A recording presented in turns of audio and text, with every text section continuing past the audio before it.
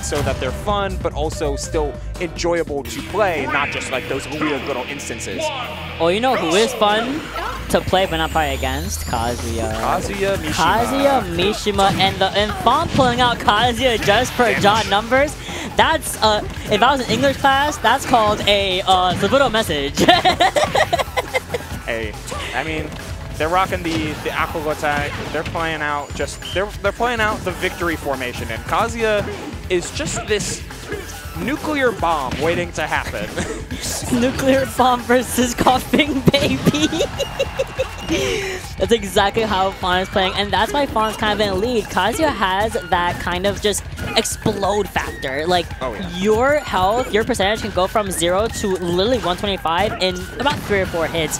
And it's up to John to kind of outplay that. Utilize what's Kazuya bad at. Okay, recovering can kind of be a little bit messy for Kazuya. Maybe being in the air a little bit messy for him as well. Get overdrive out of here as well. Like, all these small things that numbers I know he can do, and he will put to the test. Oh, the drift there was so slight, but going back to ledge there from Fawn was so perfect. The down air as well. Demon Scissors is what it's called. You're better than me. I down air. The, Tekken, the Tekken move names are so cool, but some of them are better than others. I don't remember what the back air one is, but uh, either way, it does close out the stock, and Fawn has the opportunity. No rage drive to really get it going, but Kazuya can just sneeze and deal you 40. Trying for the Heaven's Door as well to take the stock with Hello. Ooh, Kazuya a little bit too stubby for that reverse punch. I do the actual crying name, personally. Going in for the forward smash, not going to be quite... We got this. We got this. We're going in for the forward smash, and then John is able to just punish it, going waiting for the get up for a long time, and that would have been a really, really, really great down smash. It's still going to be putting Fawn in a favorable position underneath this platform, punishing John on that dash attack on, on shield. Yeah, John always ready for those little mix-ups, and the delay tech there was just so good from numbers in order to get out of a very dangerous situation because, I mean, it's pretty easy to gamble who's on, on who's going to be more patient, numbers or his opponent. Yeah, 9 times out of 10 is definitely going to be numbers, but Fawn still has that ability to just be as patient as oh, John. Oh, I think this is kind of one of these where we mash out berry, going in for the nair, and interesting attempt at, at, the punish from numbers, but at the very least, both players are unscathed, still going in with the aggression of both. Trying to get the side, the, the, the stepping sidekick, but it's going to be John able to punish once more. And can you recover from here? You should be able to. And as I say that, man, it gets a little bit harder for Fawn. What's so hilarious about Kazuya sometimes is, despite how limited his options may be off stage, because he's so heavy and fun making use of this throughout that entire disadvantage sequence, if you're not throwing Kazuya off the blast zone, then you just up B again, get higher and higher, and utilize your drift to make it eventually back to ledge. I almost want to see numbers shift more towards uh, juggling rather than strictly pushing off stage every single time. That's my favorite move that Kazuya has because of the angle that it just sends at. Like, it's a, you usually just die or you just can't recover from that deep in the blast zone. Unfortunately for numbers, it was the former, but come numbers coming in with a vengeance, going in with the back air with deep breathing active only until right then and there. Now just it's just base Wii Fit dealing with a starting to get very agitated Kazuya. Oh, going for the Nair spike there as an a chance to find the reversal. You do have the Rage Drive online and risking it, but no biscuit is found. Just little hits here and there, looking for up airs. I almost want to see Fawn just like pull it. Oh, you're gone. Oh, you're dead. it's just such a gamble. It's such a gamble, but a very strong gambit if you are willing to take the test. And you know what, Fawn? She's willing to risk it for said biscuit. This is such a good move, and it, I, I, specifically I would see shout out to Ski, my goat. I miss you. I would see Skeet do that all the time, and it would just trip up every single person that he would fight against because they're not expecting that option typically from uh from Kazuya off, off stage. But Fawn said, "I have a I have a game on board. She let me let me just uh, go back to Duck Hunt real fast." Oh, the Kazuya did its job.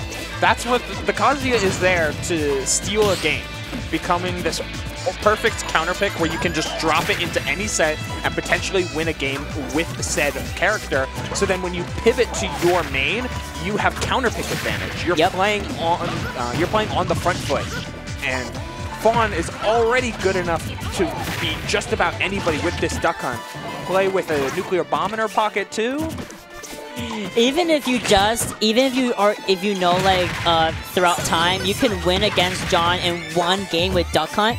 If you can buffer that Kazuya win, you are, you have that much better of a chance of winning this game with Duck Hunt. Absolutely. Like, and Numbers has to also adapt from close range, gotta avoid Kazuya, game plan to, alright, I can kind of play a little bit further again with Duck Hunt, but not be, I'd be really careful about literally everything on screen.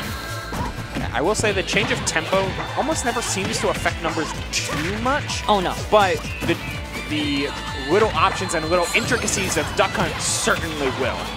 For sure, and I think, as we were saying, Numbers kind of doesn't really care. Excellent tech. Fawn would have made back anyway, but only secured her place back on the on the uh, on the stage as we go in for that forward smash on the soccer ball instead of John. Unfortunately, the ball maybe John had shaped, but it's not Wii Fit herself. It's going to be leaving John again in a good advantage with only 90% and counting.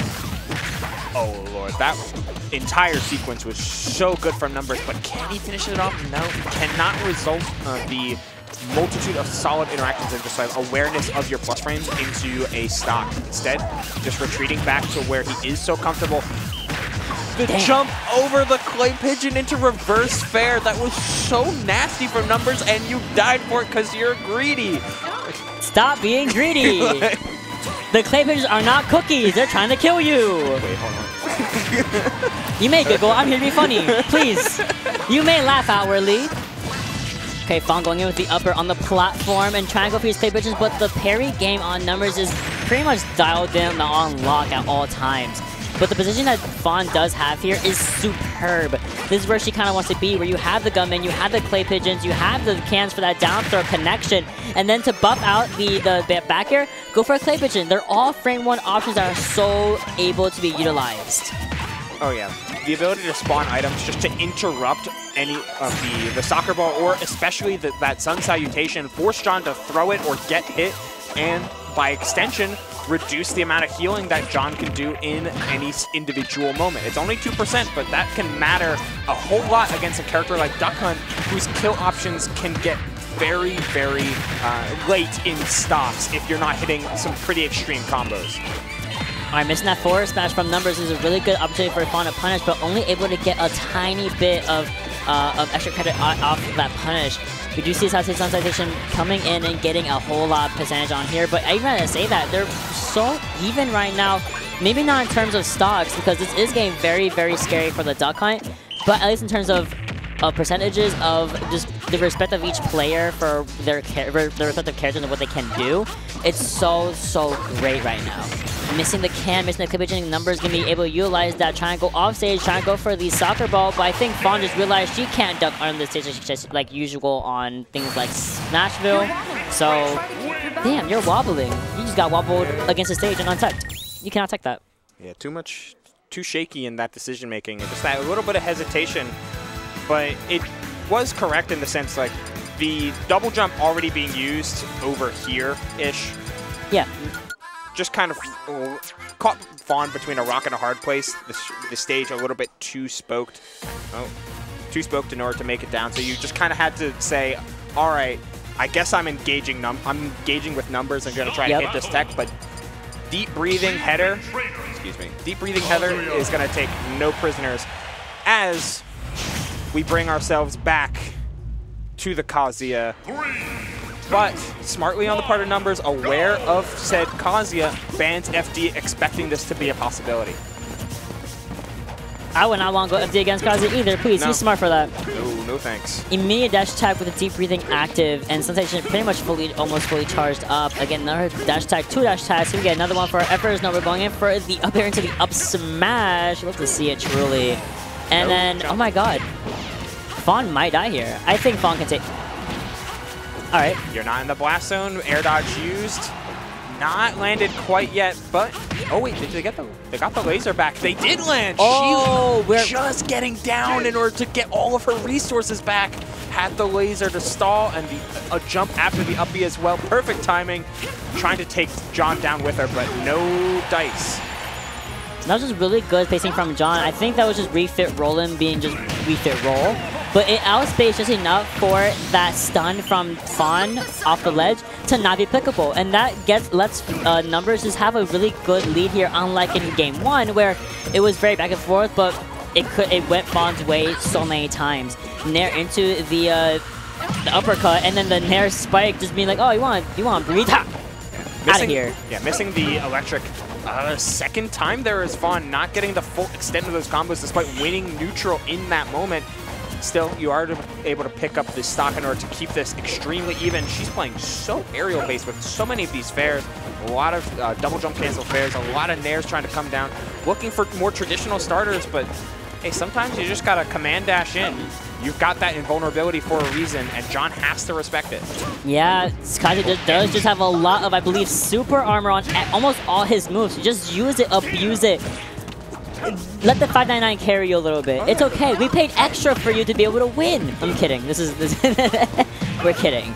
But I think Fawn's taking a little bit of our advice here. Just going in with everything that really cannot be too countered against. And... Oh my god. Staying grounded. That's when, like, every move has some level of intangibility to it. And that Oni front kick, it's to kick him right out of her area. Keeping that space on, utilizing the platform as a pseudo placed, uh, as a pseudo grounded move, going for another one of those forward tilts, but no dice. Flash tornado. John trying, to go for the cross up with the back air, and, and it kind of works in his favor as we get the up throw and the soccer ball, letting uh, Fawn get into that extra amount of damage that she can do. But it's going to be going away very, very soon if she's not very careful. I believe 8 more percent. I think it goes away. Yeah, either 8 more percent or one miss, I think, is yeah. what she has left at her disposal. Good parry. Very nice. very good parry. Let's go That bad parry. It, it's only three frames, but it matters. Every, wow, you are holding on to this rage drive here, sir. Like, Kazuya. Kazuya, Mr. Kazuya, please, use it. Mr. Mishima, what are you doing?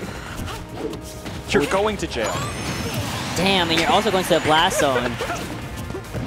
No rage drive, but I still think it's it's so possible for John to just die right here, right now at 158 against Kaz good, good angle on the laser. And also, I love that the slight jump up of the laser allowed Fawn to just narrowly avoid the sunset coming on from the out from the state from the uh, from the blast zone. So this is anyone's game. I think Fawn can't take it if we play that grounded playstyle because that second stock was very, very, very well played as Kazuya.